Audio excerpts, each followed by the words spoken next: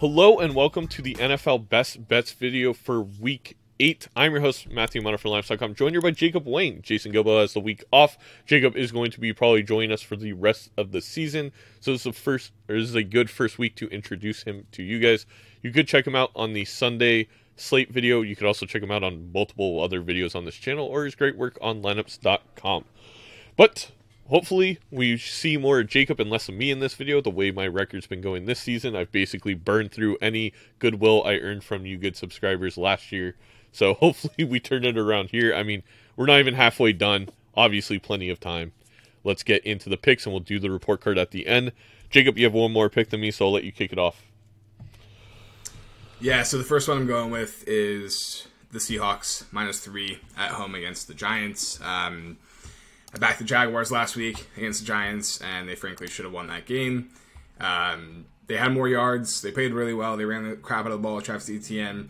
Etienne had that goal line fumble that basically swung the game. Um, but the Giants are six and one now, and they have the second lowest point differential for a six and one team since 2000. Uh, I, just think this is not as nearly as good of a football team as they're playing.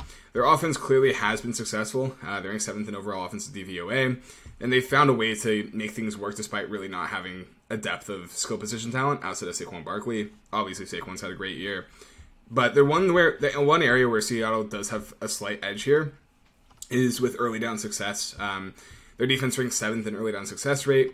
Giants rank 15th in early down success, and if they can force them into some third downs in this game, I think you're going to see Uchenna Nwosu have a great game here. Uh, the Giants rank 30th in pressure allowed, and Uchenna Nwosu quietly leads the NFL with 31 total pressures. I feel like most people don't even know who he is, and he's quietly been one of the best pass rushers in the league for the past few seasons. So I think he can make a great impact in this game. And then Tariq Woolen has made some game changing interceptions on defense. I think they have some playmakers overall.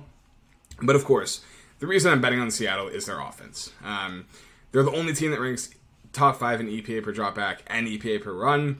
Geno Smith was top 10, or it was 10th in EPA per dropback last week and is sixth on the season. Um, Kenneth Walker has just been fantastic since becoming the starter. 18% of his carries have gone for 10 plus yards, which is the fifth highest rate among all running backs with 50 plus carries. And I think you're going to see him run really well in this game. The Giants rank 30th in DVOA against the run, dead last in yards per carry allowed. So, with a run heavy approach, the Seattle uh, the Seahawks can do a lot of play action in this game. And Geno Smith has the highest touchdown rate against man coverage in the league. And as we well know by this point, Don Wink Martindale, his defense is all about man coverage and blitzing. And I think that is a not a good recipe for success against Geno Smith and the way this offense is functioning at the moment. You know, they're just they've just been great overall and they continue to do it week after week after week. And I think we have to give them the respect at home against this team. Yeah, can't say I disagree with any of your analysis. The New York Giants and Brian Daboll just scare me. I, I'll admit it, I'm terrified. But it's kind of like uh, everything you said. I, I agree with. Um, first two unit play of this year for me. We're moving over to Miami against Detroit. This is a really, really weird one because I am also betting two units against what I think is a little bit of a stance from Vegas, which not not ideal. But I'm taking the Dolphins at minus three and a half a lot of the reasons I think this game is at this, and maybe Vegas wants you to bet a little bit on Miami, and they're they're thinking it might be a Lions win, is the Lions actually didn't play that awful against the Dallas Cowboys. They had five turnovers, they had about even yards. The game should have been closer. I also think Miami looked like they had a lot of holes against the Steelers. They did have some weird play calling after the first quarter. The offense felt out of sync after that. I think they'll get back on track. Um, where I kind of disagree, I guess, with Vegas is I don't think Detroit played that well in the Dallas game. Like they Dallas only scored 24 points, but they were 3 of 9 on third down. Detroit so far this season is the second worst defense on third down. They're giving up first downs or they're giving up on third down 48% of the time. They're allowing the opponent to continue the drive. And I think Mike McDaniels is going to use that to his advantage. I think the Dolphins obliterate the Lions in this game. The Lions gave up 6.8 yards a carry to Tony Pollard. And while I don't think Raheem Mostert is quite as good as Tony Pollard, I think this run offense is probably good enough to get a ton on the ground. Meanwhile, Detroit does not really have an answer for Jalen Waddle, Tyreek Hill at all. I, I don't know who in the secondary is going to tackle them. They are currently 17th in PFF tackling grades, but when you watch Detroit play, like there's so much separation from the opposing wide receivers, and you're talking about two of the fastest guys in the NFL. Even if they and then when they don't get separation, Hill and Waddle, they've been able to make big plays on the ground against everybody, everybody in the NFL. Nobody has been able to really tame these two yards after catch, and it's not going to be Detroit. I think Miami ends up with a blowout. I like the fact that this that that Tua seemed like he was okay in that first quarter. Again, their offense struggled the rest of the game against the Steelers. I think Mike Tomlin and Brian Flores, that's probably the smartest defensive coaching staff on one team I've seen in like 15 years. So they made really good adjustments. That's not happening with Detroit. Campbell is not a good coach. There's not too many good coaches on this Detroit staff outside the offensive coordinator. And I don't think that that Detroit is able to plan enough to keep up with the Dolphins in this one. I don't love the hook, but um you know what? I'm still playing two units on like I really do think Dolphins win this by two plus scores. And again, it's weird. I don't like that I have to I'm taking the stance against Vegas in this one because I really do think the public money is gonna be all over the Dolphins. But I, I, I think Vegas is wrong in this one. I, I think there's they're overrating Detroit's performances the past few weeks. I think they're underrating what we saw the Dolphins. I think Mike McDaniels is very smart. I think he's going to make really good adjustments, and he's going to have a field day against the 31st defense on DVOA in the league and 32nd according to PFF. Like this is the worst defense in the league. Miami's going to score at will. Yeah, so one thing I wanted to add on, full agreement for me. I'm on I'm on the Dolphins as well this week. I also played the over in this game because I do think the um, Lions will find some success on offense, at least to, to push this total over. But if you look at Jared Goff last week, um, he was under pressure constantly in that game, and 80% of his of his pass attempts were within 10 yards of the line of scrimmage. That's not going to happen totally to this extent against the Dolphins defense that ranks 29th in pressure rate, uh, while blitzing at the 13th highest rate in the NFL. So, with that lack of pressure, I think they can get some offense going, particularly if DeAndre Swift's going to play. But I think the Dolphins definitely cover this number. Um, the biggest stat that I found was this season Tua is worth about a full expected point every four plays above Teddy Bridgewater, which if you look at the EPA numbers, that's about the same difference as Mahomes and Mariota. So, so that's a huge gap. Um, and I think I, I, think Tua is fantastic, and I think the Dolphins are going to want to use this as an opportunity to really get their offense humming and firing on all cylinders before they get into some tougher games in the second half of their schedule that was thank you jay for bringing that up because i was gonna I, I, totally forgot my notes that was the other thing that i think vegas is holding on to is like the cowboys were able to get tons of pressure. That's why we saw a very poor team against or a poor game from the lions and that's not going to happen with the dolphins. I just don't like to that point i don't think it matters. I think again the dolphins outpace them. S- same thought as you. All right let's move on to the next one. Yeah so the next one i'll bring up here is scrolling up. Uh, Sorry, this is bad. Uh, okay, we'll go, to, we'll go to Monday Night Football for the Bengals at the Browns. Um, I love what the Bengals are doing on offense right now. Uh, two weeks ago against the Saints, they went really heavy into their shotgun offense, and it worked really well. And I was like, all right, let's see if it, if it, if it plays out for another week. I did end up betting the Bengals last week, and they did it again. They were in shotgun for 89% of their snaps in the first three quarters. Um, all but five plays, which were all short yardage plays. So they're really, really leaning into, leaning into this approach, and it's working. Joe Burrow went 21 of 25 for 344 yards and three touchdowns in the first half alone last week. Uh, it's the fourth most passing yards in the first half over the past decade. And I just don't think the Browns defense has close to enough answers to stop what they're doing right now. And, you know, they rank 28th in DVOA, 31st in EPA on defense, and um, it just hasn't been working. I think their defensive coordinator is probably uh, on the hot seat, very much so. And on the other side, I think the Bengals will be able to pressure Jacoby Brissett. Obviously, we know the Browns have an elite offensive line, but the Bengals rank seventh in pressure rate, eighth in EPA per play on defense, and overall, I mean, this team ranks second in DVOA after their 0-2 start, and I think the market has been rather slow to react to the successes this team has had. Uh, I wish I bat them against the Saints, bat them against the Falcons, but I'm happy to do it again here. I think this is the the best price you're going to get for this team. I think they're going to blow out the Browns on prime time, and then this market the market's going to fully react to where the Bengals are at now. I guess my only question is, it just seems like Chubb and Hunt have not been stopped so far this season. And Yeah. No, I was Like- gonna say, I, I definitely think the Browns will be able to run the ball. Uh, the Bengals are still Mm-hmm. missing DJ Reader, but I just don't know how much it matters. And the Bengals are going to be able to put up points in bunches. So if they get to a point where they have a lead, and then the Browns are in a pass first game script, they're going to be pressuring Brissett, and I don't think it's going to be functional for them. That's totally fair. I think just the way this game looks like it might go, I think minus the like I personally I I know this rarely is this ever value and the sportsbooks usually don't give you a value on it, but I think I would buy the Bengals down to minus two and a half. It's at one fifty on DraftKings. Like if I can find that anywhere better, I would. I just think that there's a lot of scenarios where I see it ending with a field goal though uh, i mean i'm kind of i'm in agreement with you it's just for my own peace of mind Yeah, I, I don't hate I don't hate that approach necessarily. Um, the one thing I would say is if you're worried about the hook, you can also just play the Bengals team total over. Um, I think That's a good the play. only way that the Browns keep this close is by running the ball a lot. But uh, Kevin Stefanski is three and eleven against the spread in divisional games. He's really struggled against divisional opponents, and the Browns are on the fritz, man. I mean, they need this game to save their season, but I just don't think they're going to get it. I think they have so many issues that go far beyond um, coaching, and I think they have a lot of work to do to get this team to where they want to be with a Super Bowl contender with Sean Watson.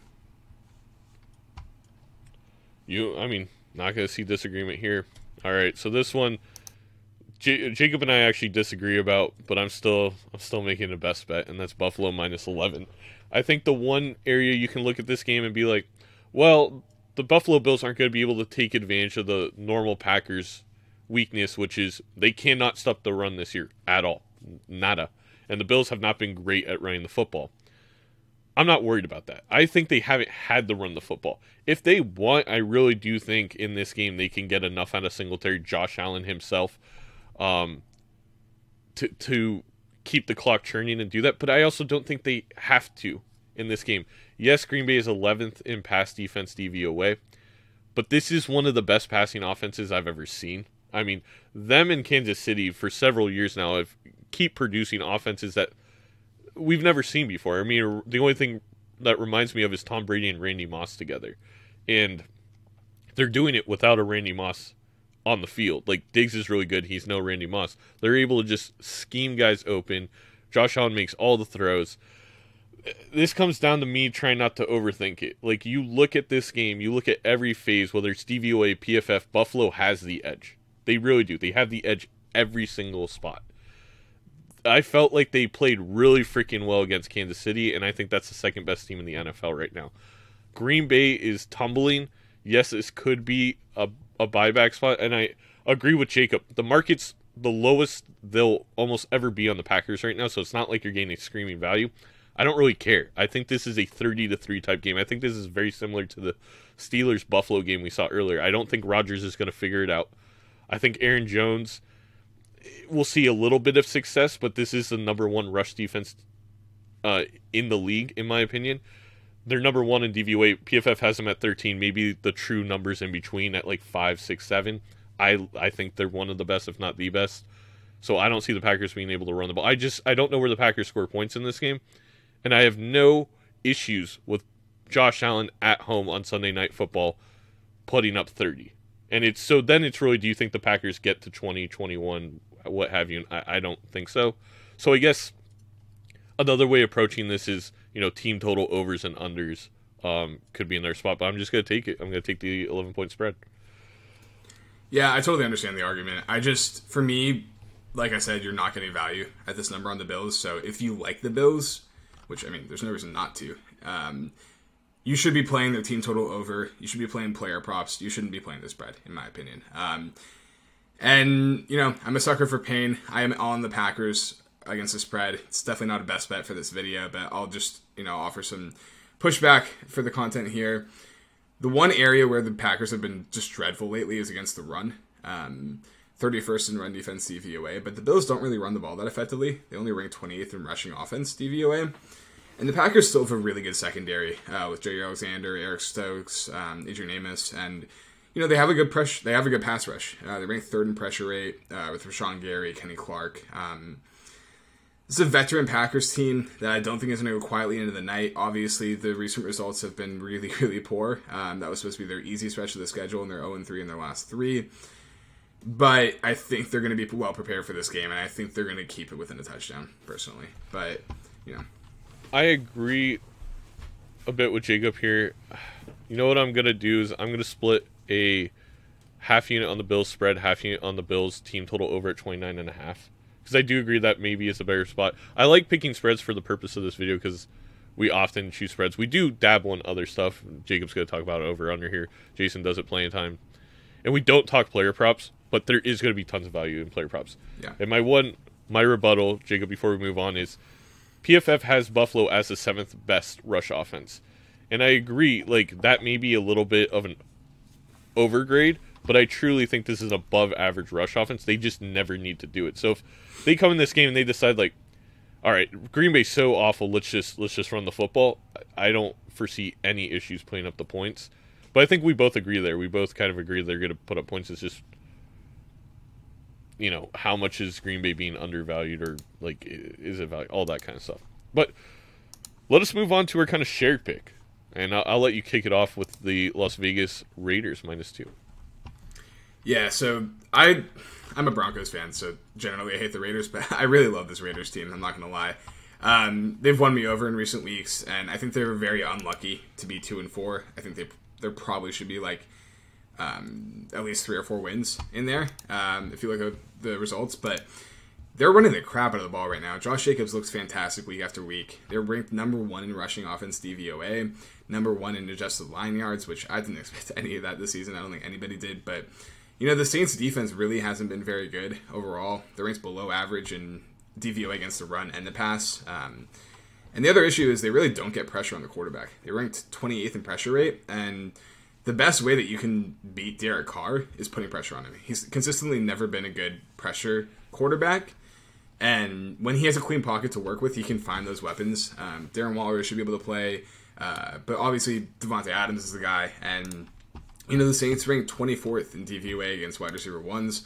Marshon Lattimore's have, had a bit of a rough year. Their whole secondary's been banged up, and you know, I, I, I, just I don't see it with the Saints team. I don't like Dennis Allen, and I think you're going to get Jameis Winston in this game, which is great because Andy Dalton's been pretty good overall. I mean, he had those two pick sixes against the Cardinals, but if you look at overall EPA metrics, efficiency, he's been fine. Um, I would rather the Saints have Jameis Winston for this bet. I think Maxx Crosby, who I you know wax poetic about every week, is going to put some pressure on Winston in this game. And I think he's going to make a couple of boneheaded mistakes. But overall, I just think the Raiders are the better team, and they're fighting for their lives right now. They have to. Like if they want to be a playoff team, they have to win these games. And I think they're going to come out very very prepared, and they're going to win this game. Yeah, I mean, this is kind of another spot. So we we just got the DraftKings numbers, and right now seventy percent of the handles on the Dolphins. Just going back there really quick, but also the Raiders sixty eight percent of the handle. Any concern here that the line is moving the opposite way of the money because it just dropped down to one and a half for the Raiders. Yeah, you know, I've kind of realized that those numbers matter more for college football, um, where information is less available. Um, I like looking at that stuff and backing those early money moves early in the week, but in the NFL, man, like I, I, just thought about last week with the Chiefs and the Niners. Like, I bet the Chiefs at minus three early in the week, and it and it moved down. I think the Niners might have even been favored some places by kickoff, and the yeah. Chiefs just waxed them. So. I think it matters a little bit, but also like I'm not going to prioritize that over my handicapping of the actual matchup and the players nearly as much as I, I, might for college football. So I think that's where I'm at with that stuff right now. Um, in some situations, I would take that as you know, a reason to be less bullish, but I really just think the Raiders are the better team here. No, I mean, I, I completely agree. And it's not like last week Vegas made a killing where they tried to take a stand. So I I agree. Um, yeah, I'm checking the number now. 80% of the money was on the Chiefs and the line was going the opposite way. So yeah. very similar to what's happening in this game right now. And it it's not like the Chiefs ran into any issues. That I, I agree. I completely agree. And I, I keep seeing like your thoughts. I follow these guys on Twitter who work for the sports books and post like you know the, the most heavy heavily public bet teams for the week and everything like that and i see people commenting like all right firing up my um, niners bet or whatever and like a lot of time that doesn't work like it doesn't yeah. always work that way. Um, over the grand scheme of things, like Vegas obviously wins, but I don't think you you can just go in and automatically bet on the team that has less of a handle in any given game. Yeah, I mean, there's certain places they want like they won with the Dolphins, they won with the Patriots. Um, you know, with with little money on the Bears, little money on the Steelers, but it's also like there's we've been doing all the Sunday and Monday night football games, and there's been a lot of times recently that the the public's won in there. It's not as big of a margin in the NFL as people think. I think, in my opinion, on how much Vegas wins, you know, each and every week. Yeah. Again, yeah. One um, one thing I want to add quickly too is like underdogs have been winning at such a high rate this year that I think Vegas is starting to shorten these numbers a bit. Um, I think earlier in the year you might have seen uh, the Patriots favored by a full field goal against the Jets. You might have seen the Raiders minus three and a half at the Saints. Um, and like that's a different ballgame when you're looking at those types of numbers. Titans are only minus two at the Texans right now. Like I think they're shortening these numbers in, re- in response to how heavy of a hate rate there's been on the um, underdogs this year, and I think it might be an opportunity to go back and take some of these favorites. Yeah, I agree. All right. Oh, you have one more. I almost closed it up. Oh yeah, we'll go. Over um, my last one. I'll keep it kind of short, but I like the over in the Cardinals Vikings game. It's been steaming up this week, so I'd recommend getting that in as soon as possible. But the the Cardinals defense is still terrible. Um, you know they they played decently well against the Saints, but it was really because of those two pick sixes and like they still ranked 27th in DVOA against the pass. Uh, Vikings are coming off their bye week. I think they're gonna have plenty of success with Justin Jefferson, Adam Thielen, um, Irv Smith in a really nice spot. I might talk about him in player props later in the week, but overall, I think this this offense is going to have plenty of success. But you know, the Cardinals got DeAndre Hopkins back last week, lost Marquise Brown. They're not going to have quite the same vertical threat uh, over the over the top explosiveness, but I think Kyler Murray's splits in his career have consistently been better with DeAndre Hopkins in the lineup. I mean, for obvious reasons, but I think he'll find plenty of success against a defense that ranks 31st in DVOA against wide receiver ones. Um, I just don't think either of these defenses are really scary, and I think both offenses should have plenty of success. Um, I bet the over in that Cardinals Seahawks game earlier in the year, and that certainly didn't hit. It was mostly because of some bad red zone luck. Um, and you know, that could happen this week, and that would suck. But I, I like the over here. What do you think? No, I, I, agree. I mean, I'm still I feel a little scarred by the Packers and Eagles games where for the Vikings where I thought it was going to go over, but then you they won on a nice run of Lions, Saints, Bears all all the over. The Dolphins game was a little weird. I will say that was probably the best performance from Vikings defense. Of course, they were playing against Teddy Bridgewater and Sky Thompson, so take that with a grain of salt. But I was eh, eh, surprised how well they were doing on third downs through that game a little bit. It, nothing to worry about from your standpoint, Jake. Jacob, I, I lean the over with you. I'll decide by the time this video comes out in the comments if I if I'm gonna make it a play too, because like that's how much I like it. it. It makes a ton of sense for me for the Vikings to score 28 in this one. So really, it's like, do you think the Cardinals are getting the 21? And uh, my only concern would be the Cardinals in the red zone, where I think the Vikings have played okay in the red zone. It's not Mike Zimmer era level efficiency, but you're also talking about a team that couldn't get it done against the Seahawks. So, well, well on these numbers here, the, the, Vikings are the worst team in the NFL on red zone efficiency, according to this. So, um, one thing I did want to bring up about that Dolphins game, though, you, you mentioned that is the Dolphins actually had 458 yards of total offense. They moved the yeah. ball really well. 23 first downs. They just had three turnovers. So, you know, when you, whenever you bet overs, man, like there's going to be times where you get some bad turnover luck, some bad red zone luck. You know, a, a drop here, a drop there. Like that stuff's to happen. Um, but I think on the whole, like the over's to hit in this in this game more often than not. So I'm happy to go there, and this will be a game to target for overs on player props as well. I believe. Fine, Jacob. I need to make up all the units I can. Half unit from me. So we got Seattle Seahawks plus, minus three for Jacob. I have the Miami Dolphins minus three and a half. Two units on that one against the Detroit Lions in Detroit. Bengals minus three and a half for Jacob. I'm on the Buffalo Bills minus 11 and a half unit, and the Buffalo Bills over 29 team total points at a half unit. Las Vegas Raiders minus one and a half. Both of us have a unit on that game, and then Jacob full unit. It was really his pick over 49 for the Cardinals and Vikings. Talked me into a half unit. It, it it should it should be an over. It really should, but we'll we'll see what happens. All right, let us head over to the betting report card, which Jacob has not been a part of thus far. another absolute garbage week from yours truly. So I'll go over mine first. Panthers, I had a half unit um, on both the 0 to 10 team bin and under 13 and a half because I wanted to take a little bit of risk that they would score under 10. Oh boy, was I wrong. The Buccaneers are garbage. I'm so upset about this game. I don't think anybody, including Vegas, saw that coming. Um, it was just a very porous performance from the Buccaneers team as a whole. I thought that would be the game they kind of come together. It seemed like Tom Brady was really focusing on football. I, I don't know. They're just not a good team.